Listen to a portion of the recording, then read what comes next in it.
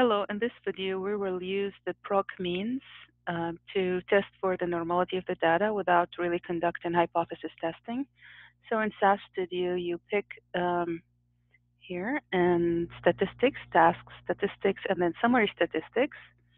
And then under data you, you select the data and then the uh, analysis variable that you are interested in. In this uh, example we are interested in checking if ozone is normally distributed or not. And in options, you pick the summary statistics, but it's very important to go to additional statistics and check skewness and kurtosis.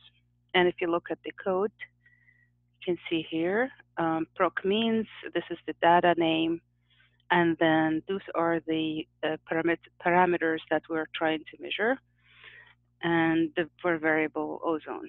And then we hit the run button, and we get the results like so. So we know that if skewness is far from zero, then the variable is not normally distributed. And at the same time, if kurtosis is far from three, then it's not normally distributed.